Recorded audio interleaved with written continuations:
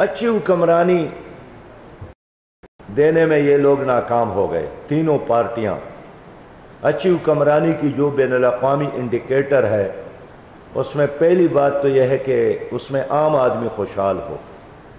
तो क्या आप लोग खुशहाल हैं? अगर आप में से कोई एक आदमी भी खुशहाल है, आप सहाफ़ी लोग हैं, आम लोगों की नुमाइंदगी करते हैं, वो हाथ उठाएँ।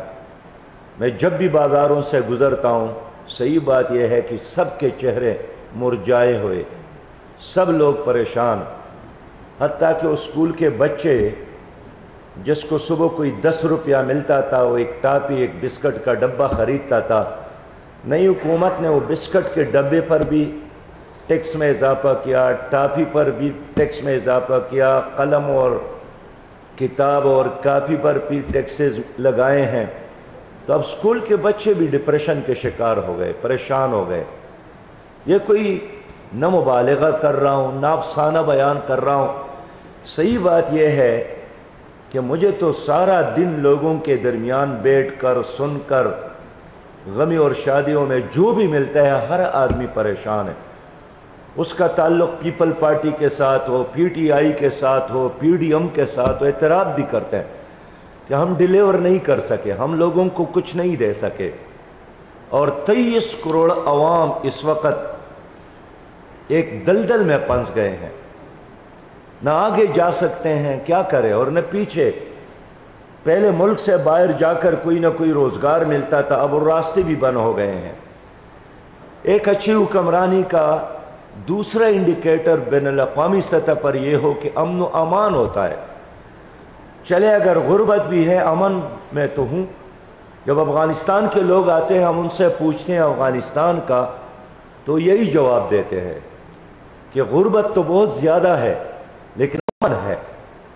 माँ, बहन, बेटी अमन में है, बुज़ुर्ग अमन में है, लेकिन पाकिस्तान में वो मकामात जो इंतहाई हसास मकाम थे, जिनका काम कौम और मुल्क और शहरीों की निगरानी और पासबानी और हिफाजत, अब Peshawar civil line, police line के मस्जिद में भी धमाके होते हैं।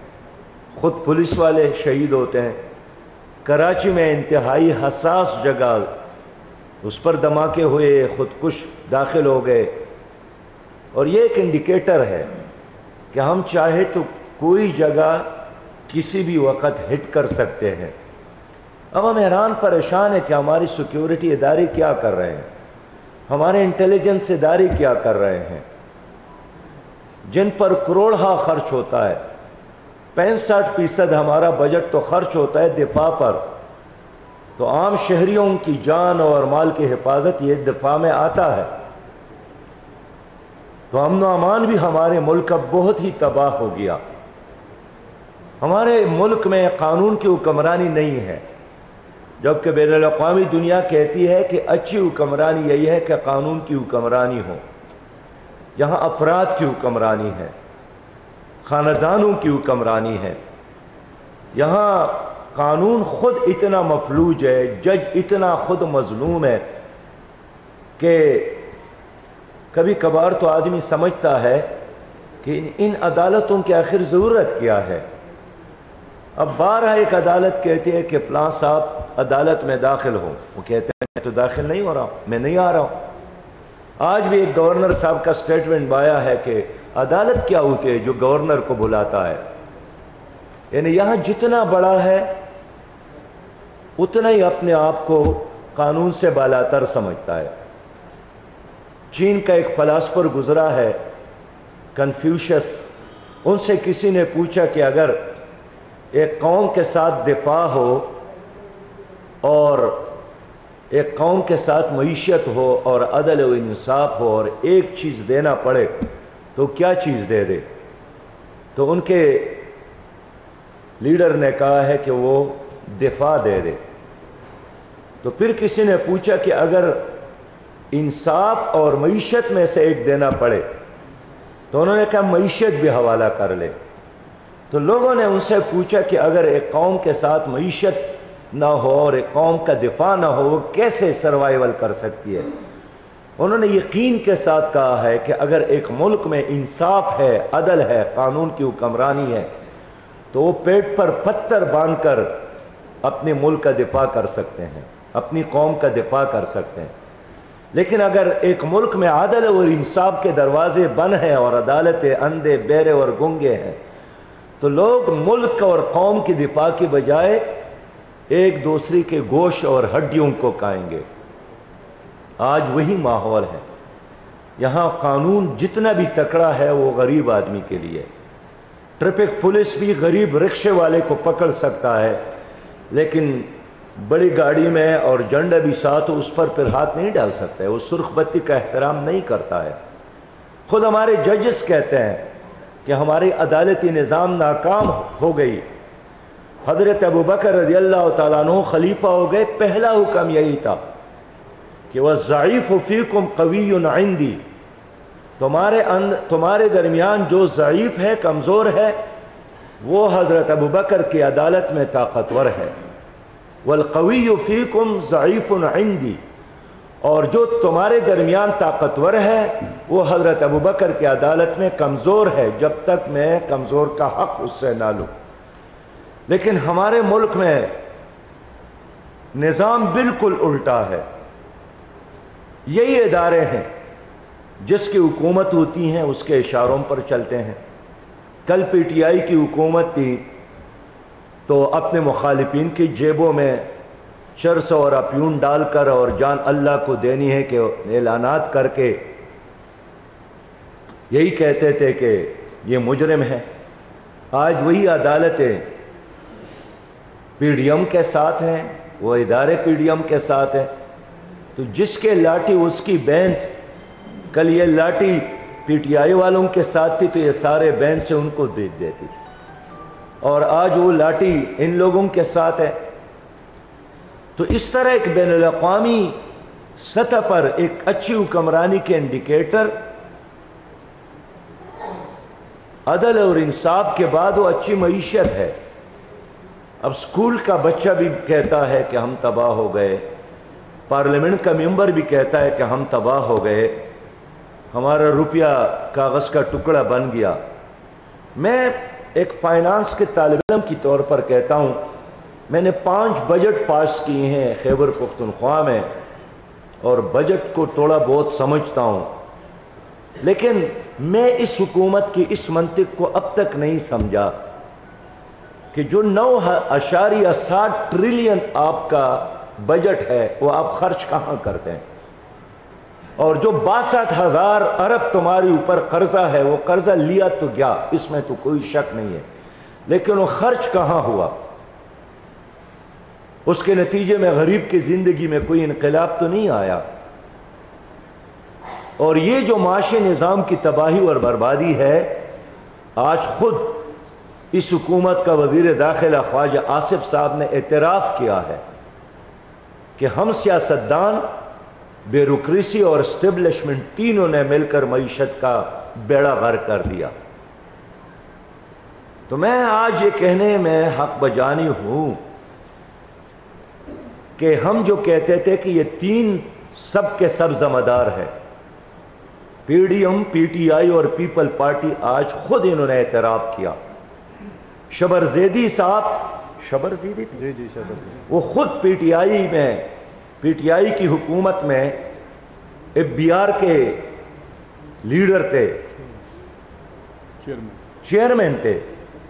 उसने उस वक्त कहा था कि हम मसनू तौर पर ज़िंदा है हम डिफ़ॉल्ट हो गए। आज वज़ीर दाखिला ने भी ऐलान किया कि हम डिफ़ॉल्ट हो गए हैं। क्या ऐलान करना काफ़ी है या एतराफ़ के बाद उस कुर्सी पर बैठना आप लोगों के लिए कैसे जायज़ हो गया है? जिसकी वजह से आप लोगों ने अपने मुल्क का बेड़ा गर कर दिया।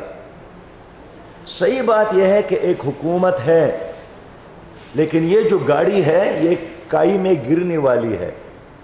इसके चार ड्राइवर है। अगर एक गाड़ी के चार ड्राइवर हो तो वो रिवर्स तो जा सकती है, वो आगे एक कदम आगे नहीं जा सकती। यही वजह है कि नौ महीनों में ये गाड़ी आगे नहीं बढ़ी। बजट क्या है? अपने अखराज को अपने आमदन के मुताबिक बनाना है। तो अगर आप चाहते हैं कि आप खसारा कम कर ले, मीशत को बेहतर बना ले तो साफ़ तरीका, आसान तरीका तो यही है कि अपने अखराज कम कर ले। अब हमारे अंदाजे के मुताबिक पाँच लाख पाकिस्तानी सरकार की गाड़ियाँ हैं, जिसमें रोज़ाना कम अज़ कम तीन हज़ार रुपया की पेट्रोल डाले जाते हैं। अब एक दिन का अगर एक करोड़ पचास लाख से ज़्यादा आपका तेल, आपकी ब्यूरोक्रेसी सरकारी गाड़ियों में खर्च होता है ये महीने का कितना बनता है और ये साल का कितना बनता है। इनके मेंटेनेंस के अखराज इनके लिए गैराज इनके लिए ड्राइवर वो उसके अलावा है। तो एक मुल्क में अगर इत, मैं इनसे पूछना चाहता हूँ, ये शहबाज शरीफ भी बाहर आता जाता है। ये इमरान खान भी कहता है कि मैंने मगरब को बहुत करीब से देखा है। ये बिलावल साहब कहता है कि मैं तो बाहरी पला और बड़ा हूँ अभी अभी उर्दू सीख रहा हूँ। मैं इनसे पूछना चाहता हूँ कि तुम्हारे जो हुक्मरानी का मुगल बादशाहों का जो अंदाज है, क्या ये बाहर आपको कहीं नज़र आया? वहाँ तो हर आदमी खुद अपनी गाड़ी चलाकर दफ्तर आता है। वहाँ तो वज़ीर और गवर्नर और इन लोगों के लिए हमने नहीं देखा है कि आधा आधा घंटा ट्रैफ़िक रुक जाती है। मुफ़्त खोरे हैं कर्ज खोरे हैं। एक तरफ़ पैसा नहीं है और दूसरे तरफ़ अयाशियाँ हैं, शाह खर्चियाँ हैं अफसरशाही है। तेईस बार हमने आईएमएफ से प्रोग्राम लिया। मैं अपनी पाकिस्तानी कौम से भी कहना चाहता हूँ कि ज़रा हाफिजे पर ज़ोर डाले। इससे पहले 22 बार हुकूमत ने इस तरह झूठ बोला है।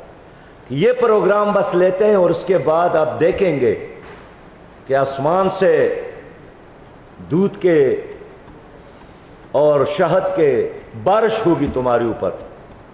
लेकिन तेईस प्रोग्राम नाकाम, नाकामी से दो चार है। ये मुझे वर्ल्ड बैंक के नायब सदर मिको मिशुमिजी ने खुद कहा था कि बाबा कर्जों की बुनियाद पर कोई कौम तरक्की नहीं करती। शौकत अज़ीज़ वज़ीर आज़म थे। चार सुबों के वज़रा ख़जाना उसने बुलाया था। वज़रा आला भी थे। वर्ल्ड बैंक के नायब सदर मिको मिशी, मिको मिशो मिजी ने कहा कि अपने तर्ज हुक्मरानी को बदलो। जापान से ताल्लुक़ रखती थी, खातून थी। जब तुम्हारी हुक्मरान अर्श पर रहते हैं और अवाम परश पर कभी भी इस तरह कौम तरक्की नहीं कर सकता। आप हुक्मरानों को परश पर आना चाहिए। अवाम की तरह रहना चाहिए। अवाम के साथ रहना चाहिए। ये मुल्क इन्होंने फतह नहीं किया है। इन लोगों के मौजूदगी में पाकिस्तान तरक्की नहीं कर सकता। ज़रूरत तो यही थी कि पी टी पीटीआई, पीडीएम और पीटीआई वाले वादी पूरा करें। आवाम के मायारी ज़िंदगी बेलन करते। लेकिन ऐसा नहीं हुआ। आवाम का मायारी ज़िंदगी तबाह हुआ। हुक्मरानों की मायारी ज़िंदगी में बेहतरी आई है। लेकिन आवाम तो तबाही से दो चार है। मैं सही बात कहता हूँ, लोगों ने घर का सामान बेचना शुरू किया है। इसलिए कि आटी की ज़रूरत है, चावल की ज़रूरत है अपने बूढ़े वालदेन के लिए इलाज की ज़रूरत है। दो वक़्त की रोटी का मसला है। इस वक्त आम पाकिस्तानी बैतालीस अकसाम का टैक्स दे रहे हैं। आप भी सहाफ़ी लोग हैं, मैं आपसे भी बात करना चाहता हूँ। थोड़ा सा आप टैक्सेस का वो निकाले, लिस्ट निकाले। आपकी तनख्वाह बेशक तीस हज़ार रुपया हो, लेकिन आप अपनी तनख्वाह से ज़्यादा बैतालीस अकसाम बैतालीस अकसाम का टैक्स आप दे रहे हैं। तो गरीब आदमी तो यही कर रहा है। लेकिन ये जो वीआईपी तबका है, ये जो हुक्मरान तबका है, ये सौ अकसाम के मरात ले रहे हैं। हमने पूरा लिस्ट बनाया है, सौ अकसाम के मरात ले रहे हैं। तो मेरे बहुत ही मोहतरम भाइयों इन हालात में चाहिए तो ये था कि हुकूमत करप्शन ख़त्म करती कर्ज़ा लेने की बजाय। शाह खर्चियाँ कम करती कर्ज़ा लेने की बजाय। अपनी तनख्वाहें कम करती कर्ज़ा लेने की बजाय। और 170 अरब है किया। ये 170 अरब कोई बड़ी अमाउंट नहीं है। ये तो अगर जरदारी साहब शाबाज शरीफ साहब, नवाज़ शरीफ साहब, इमरान साहब इसकदार साहब, ये जो पाँच दस लोग हैं, इनकी ज़रूरत से जायद जो प्रॉपर्टीज़ है, अगर वो भी कौम पर नचावर कर ले, हमारे खर्चे ख़त्म हो सकते हैं, हमारा ये कर्ज ख़त्म हो सकता है। ये तो खुद शाबाज शरीफ ने शाबाश दी कि एक पाकिस्तानी ने तुर्की में सैलाब के सैलाब के मुतासरीन को, जलजला के मुतासरीन को तीन करोड़ दिए। तो हम उस पाकिस्तानी भाई को सलाम पेश करते हैं। लेकिन मैं इनसे भी पूछना चाहता हूँ कि आपने तो तीन लाख भी नहीं दिए। न वज़ीर आज़म सबका ने दिए। न करोना वायरस के दौरान, न सैलाब के दौरान, न जलजल, कभी भी हमने नहीं देखा कि हुक्मरानों ने अपनी तरफ़ से कोई कुर्बानी दी हो। ये ज़रूर करते हैं कि तोशा खानों को लूटते हैं। ये ज़रूर करते हैं कि एक दफ्तर की बजाय चार चार और पाँच पाँच दफातर रखते हैं।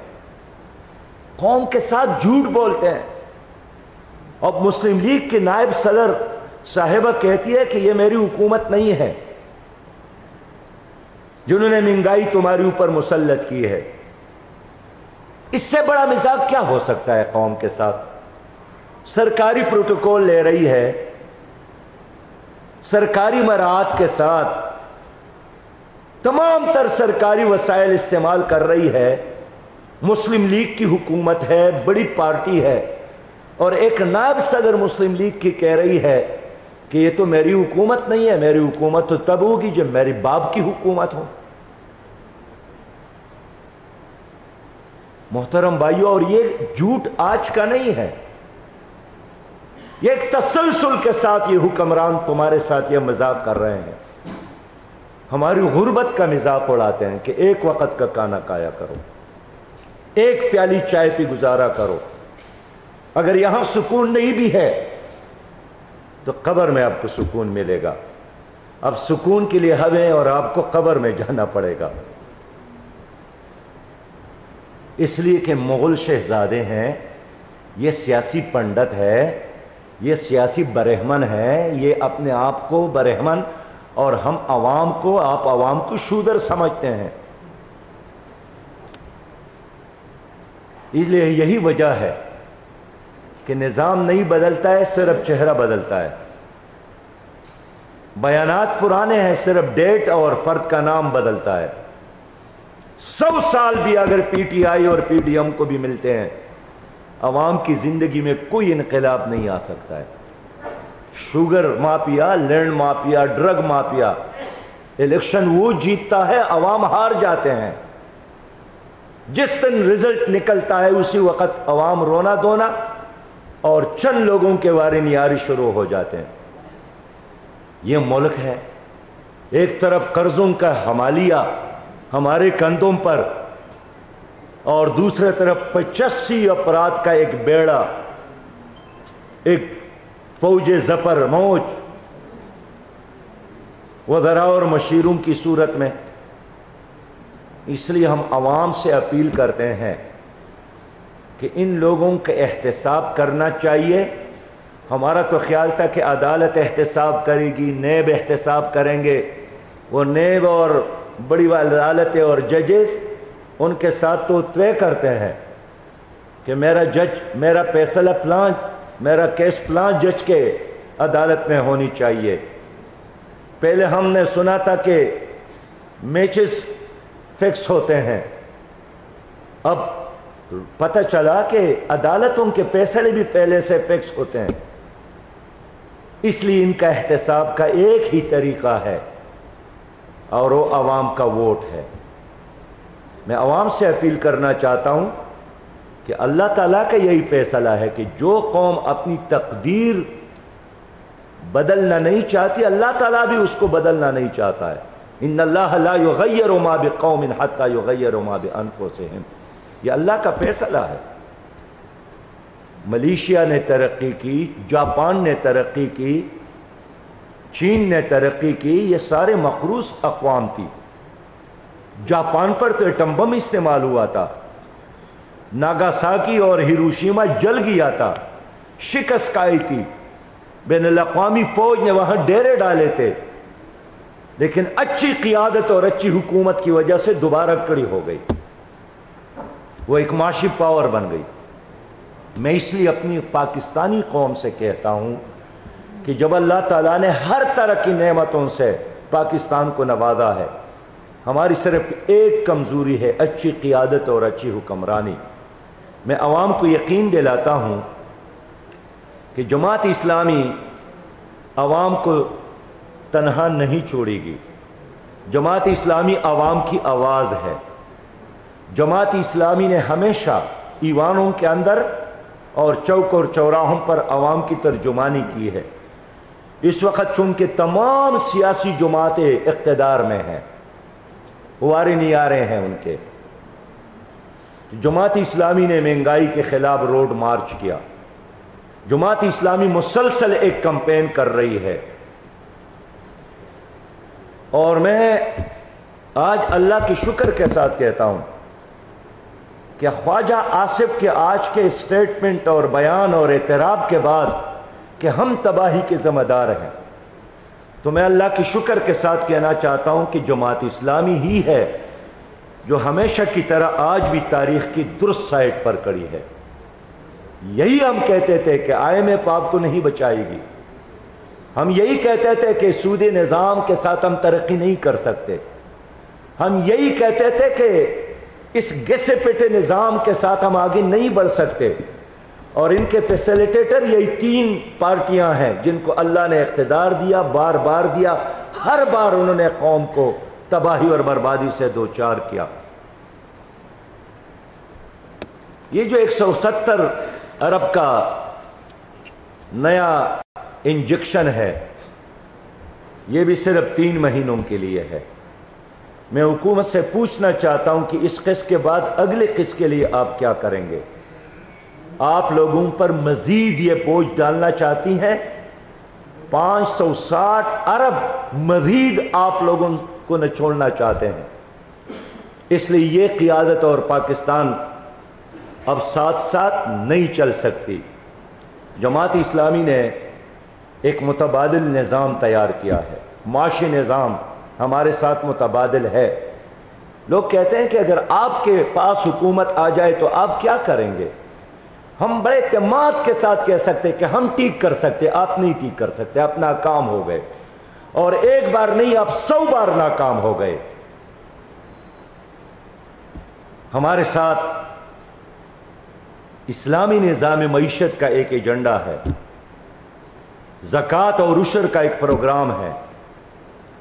एक करप्शन के खात्मे का एक एजेंडा है। गैर तरक्याती अखराज ख़त्म करने का एक एजेंडा है। अपने मादनियात को इस्तेमाल करने का एक एजेंडा है। अपने बंजर ज़मीनों को आबाद करने का एक जज्बा है। हमारे दरियाओं में आब हयात बहता है, उसको संभालना और इस्तेमाल करने का एक प्रोग्राम है। और सबसे बड़ी बात यह है कि हमने साबित भी किया कि जब भी हम पर एतमाद हुआ है, हमने डिलीवर किया है। हमारे साथ एक मुनज़म टीम है। हमारे साथ एक दयानतदार और बासलाहियत टीम है।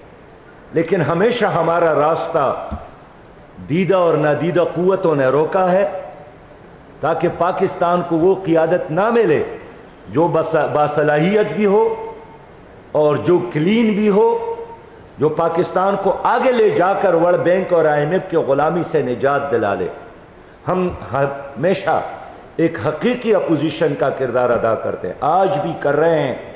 मुसलसल हमारे जलसों का एक सलसला जारी है। और मौजूदा सनेरियो में हमने 27 फरवरी को इस्लामाबाद में अपनी तमाम सियासी क़ियादत को बुलाया है। और उसमें तमाम कौमी असम्बली और सूबाई असम्बली के उम्मीदवार जिनको हमने नामजद किया है, उसको भी बुलाया है।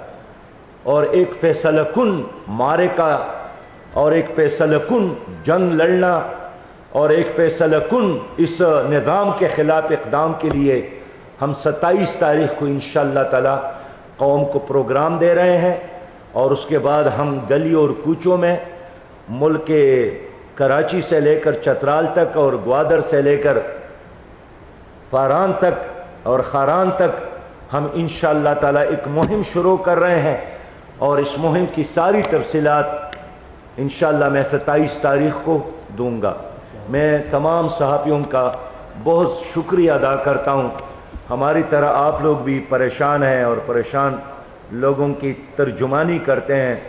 मुझे किसी ने बताया कि सहाफ़ी और कालम नवीस, ये गरीब लोग होते हैं। अगरचे, इसमें भी अब एक वीआईपी तबका तो है, लेकिन मैं कहता हूँ कि अगर आप गरीब ना होते, हम ऐसे ना होते तो ये नन्नवे फ़ीसद गरीब लोगों की फिर तर्जुमानी कौन करते हैं? उनके दर्द और एहसास की नुमाइंदगी कौन करते बहुत शुक्रिया।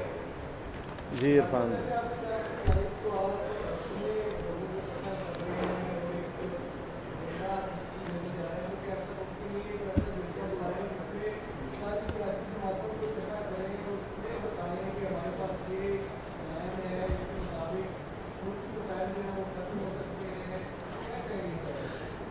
यार, ये काम हमने बारहा किया है। कई बार हमने सेमिनार किए हैं, माशी माहरीन बुलाया है, बिन अवी माशी माहरीन के साथ तजावीज़ शेयर करके इस हुकूमत को गुज्त हुकूमतों को हमने दी है। लेकिन इन्होंने एनक ऐसे लगाए हैं कि ये सिर्फ़ अपनी मुफादात, उसमें देखते हैं आवाम की मुफादात इनको नज़र नहीं आते। इसलिए हम इन चलेंगे आवाम को साथ लेकर।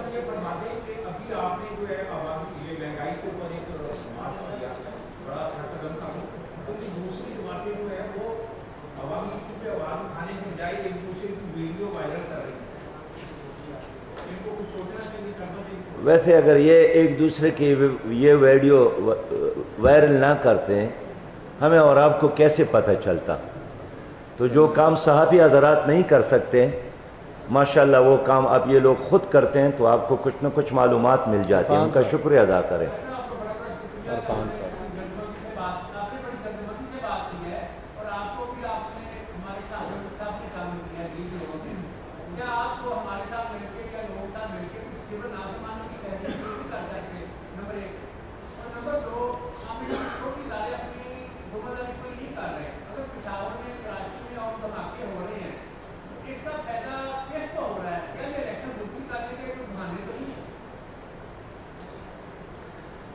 देखिए धमाकों से तो फ़ायदा वही उठा रहा है जो हमारा दुश्मन है।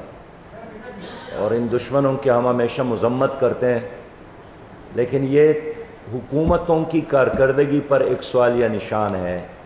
सिक्योरिटी इदारों की कारकर्दगी पर, उनके सलाहियत पर एक सवालिया निशान है। और हम हुक्मरानों से कहते हैं कि लाशों को दफनाना ये आपकी ज़िम्मेदारी नहीं है, ये आवाम कर सकते हैं। आप दुश्मन का मुकाबला करें, आप सिक्योरिटी मुहैया करें। बाकी रही सिविल नापरमानी तो मैं आपसे अर्ज़ करना चाहता हूँ कि इस निज़ाम के ख़िलाफ़ तो हम पहले से बागी हैं और ये एहतजाज कर रहे हैं। आप इसका हिस्सा है। मैं इस पर आपका शुक्रिया अदा करता हूँ।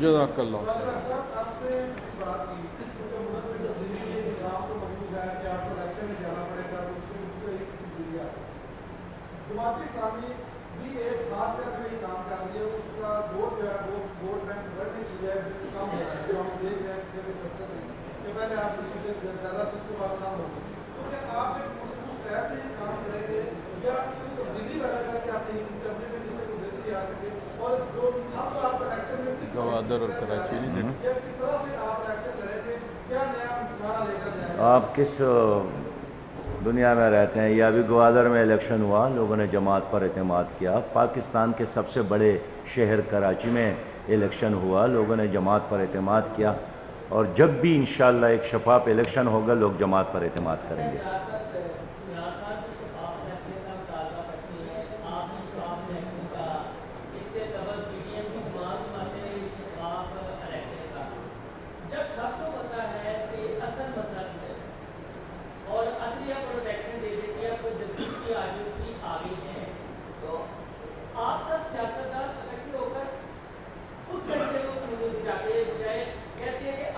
देखें मोहसिन भाई।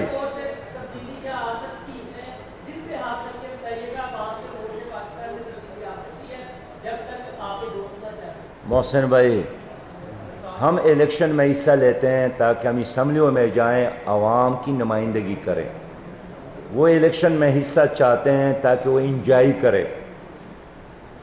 अभी दो सूबाई असम्बलियों में उनकी मेजॉरिटी थी, उनकी हुकूमत थी, उनका वज़ीर अला था।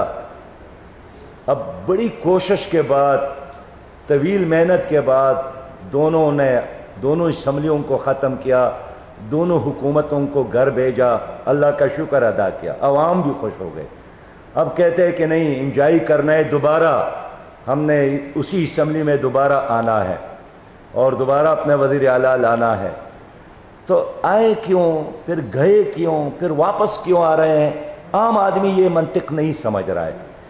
हम जो बात करते हैं वो पीटीआई से बिल्कुल मुख्तलफ है। हम कहते हैं कि एक ही दिन कौमी असम्बली का और सूबाई असम्बलियों का इलेक्शन हो और जब इलेक्शन कमीशन कहती है कि बहत्तर अरब खर्च आता है इलेक्शन पर तो मैं यही तो कहता हूँ कि एक तरफ़ आप मकरूज़ है और अपने अमले को तनख्वाह देने के लिए पैसा नहीं है और दूसरी तरफ़ आप ये खेल खेल रहे हैं, इसलिए इलेक्शन नागुजीर है। तो एक इलेक्शन करे कौमी असम्बली का और चारों सूबाई असम्बली का। ये एक मुल्क है, ये नहीं होना चाहिए कि अभी सत्तर का हो, फिर पचास का हो, फिर साठ का हो।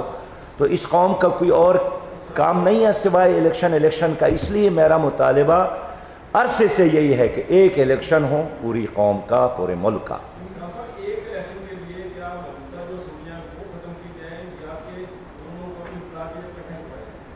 इसम्बली तो है नहीं।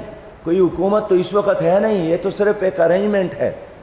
कार्टून है नज़र आ रहे हैं। कौन चला रहे हैं मुल्क? कोई आपको नज़र आता है? इसलिए हम कहते हैं कि जितना देर लगाएँगे उतना ही नुकसान होगा। लिहाजा एक इलेक्शन एक दिन यूनिफॉर्म तरीके से। बहुत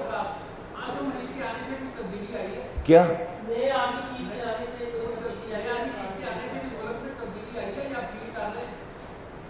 भाई, आम आदमी तब्दीली तो यही देखते हैं ना कि आटा सस्ता है या महँगा। पेट्रोल में इजाफा हुआ, कीमत में या कमी। तो आर्मी चीफ जब से आए हैं, मेरे ख्याल में उनका ये काम अच्छा है कि बात नहीं करते हैं। और सबसे पहले वो कश्मीर गए थे, उससे कश्मीरियों को एक अच्छा पैगाम मिला है कि हाँ एक आर्मी चीफ के दिल में कश्मीर की आज़ादी का एक एहसास है। बाकी आर्मी चीफ के आने जाने से, आईजीपी के आने जाने से, चीफ सेक्रेटरी के आने जाने से कोई फ़र्क नहीं पड़ता। जब तक ये निज़ाम है, कोई भी आर्मी चीफ और कोई भी आईजीपी और चीफ सेक्रेटरी हो, ऐसा ही चलेगा। इसलिए हम चाहते हैं कि कौम मिलकर इस निज़ाम से निजात के लिए जदोजहद करे।